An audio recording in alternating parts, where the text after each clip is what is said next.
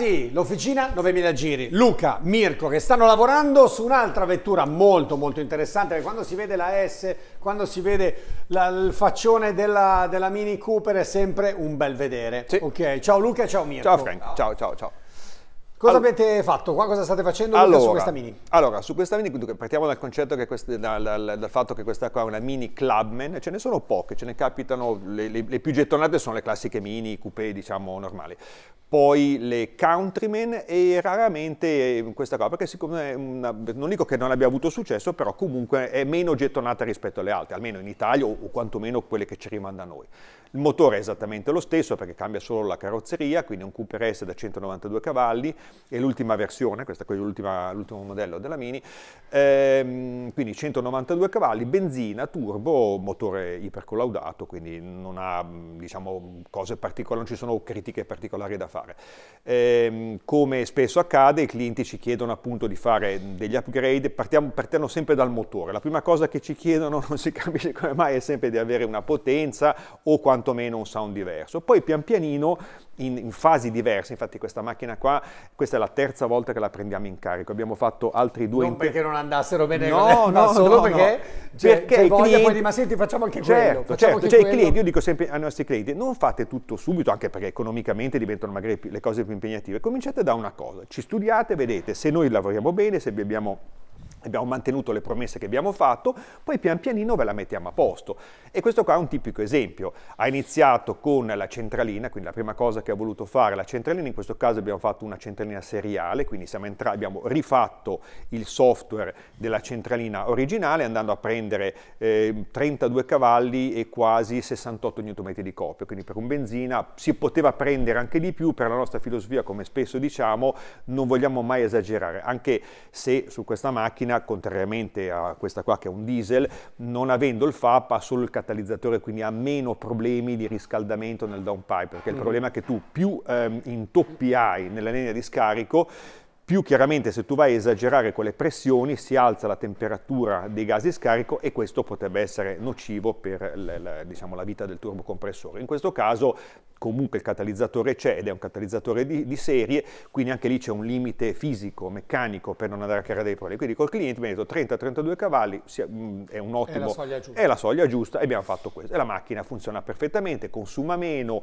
più accelerazione, non diventa un dragster, però è godibile. Non abbiamo toccato minimamente l'affidabilità meccanica che è quello che a noi interessa certo, certo. principalmente. E questo è il primo step poi l'appetito viene mangiando, dopo una settimana è tornato, fa no no, eh, sono rimasto contento, però a questo punto vorrei avere un pochino più di voce, quindi in questo caso essendo un benzina, voce, a voce di tutti noi, da noi guarda, abbiamo due cose, la potenza, centraline e gli scarichi, ne facciamo un badalucco, anzi forse più scarichi che centraline, proprio le, le, a Milano sono fissati con questo concetto.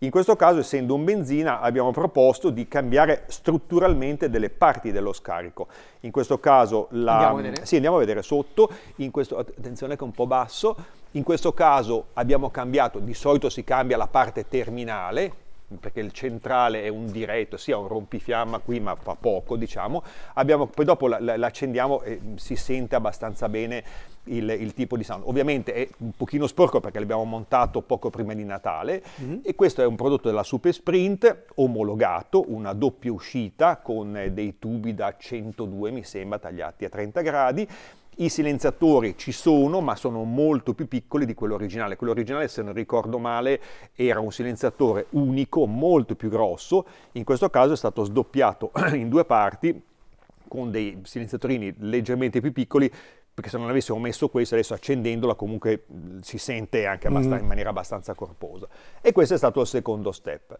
poi, fatto questo, anche lì dopo una settimana di 10 giorni, torna di nuovo il cliente, questo poco prima di Natale, e ci chiede di mettere a posto anche l'impianto frenante. Quindi riprendi in mano il, il, il catalogo, riprendi in mano l'ordine.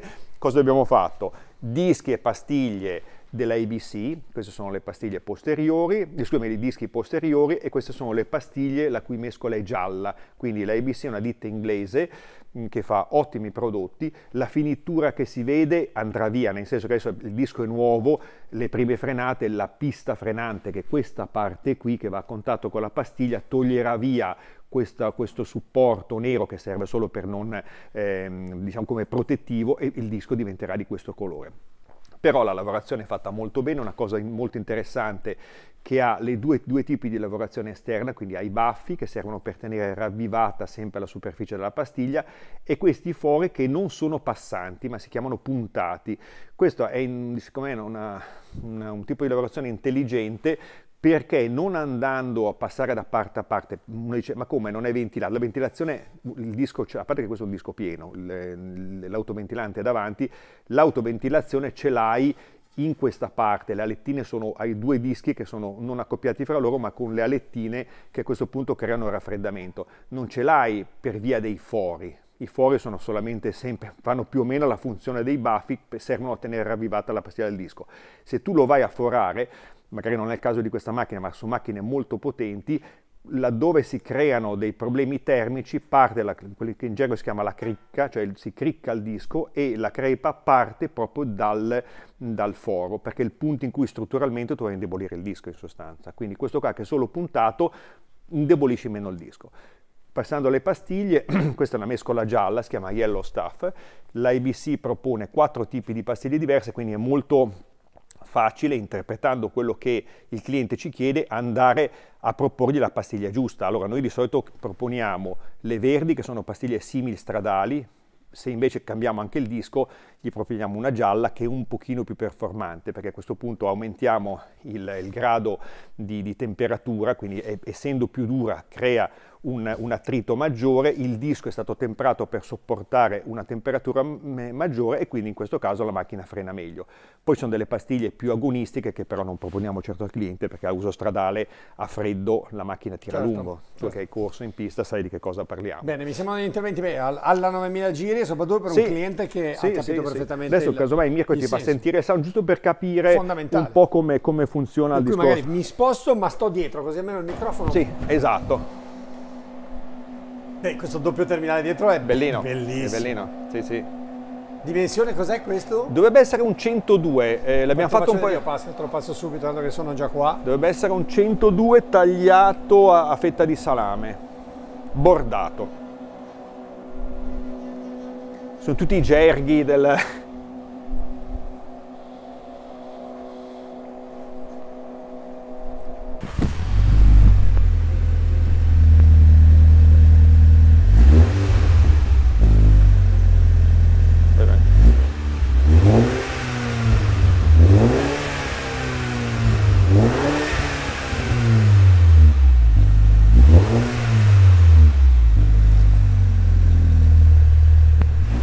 Grazie Mirko. A me questi scarichi piacciono da pazzi anche al minimo. Sì, no, eh, sono belli. Il borbottio al minimo sì, è sì, stupendo. Sì. Adesso qua poi non ha tirato troppo su di giro perché la macchina è fredda, fredda, e quindi non... Okay. Però quando la macchina è calda, già con solamente le due pance piccoline, ehm, si mantiene quel, quello scoppiettio tipico delle mini. Poi se uno volesse proprio, però secondo me andiamo già in un ambito forse un filino esagerato, quello, quel rompifiamma che avete visto all'inizio nella parte centrale, nella mm-hmm. parte anteriore, si può togliere anche quello, solo che il problema è che non avendo valvolo o quant'altro, eh, il suono, secondo me il suono giusto è, quello, è, questo qua, è un bel suono sportivo, rimettiamo sulla copritarga che sennò ci sgridano, assolutamente, ehm, il giusto, c'è il giusto compromesso, poi ripeto, come ho detto tante volte, il discorso del sound, la potenza è quella e va bene, non è tanto soggettiva, ma il discorso del sound è una questione soggettiva, cioè a me può piacere, a un altro mm, lo vuole di più, un altro lo vuole di meno, è, è come le, le, la tipologia di macchina, a me può piacere o non piacere questa macchina e viceversa ad altri il contrario, quindi noi cerchiamo sempre, come dico tante volte, diventiamo un po' anche degli psicologi, cioè uno dice sì voglio lo scarico, allora devi capire che tipo di scarico vuole per cercare di fare il lavoro giusto in una volta sola, se no dopo devi farlo tornare, fare delle modifiche.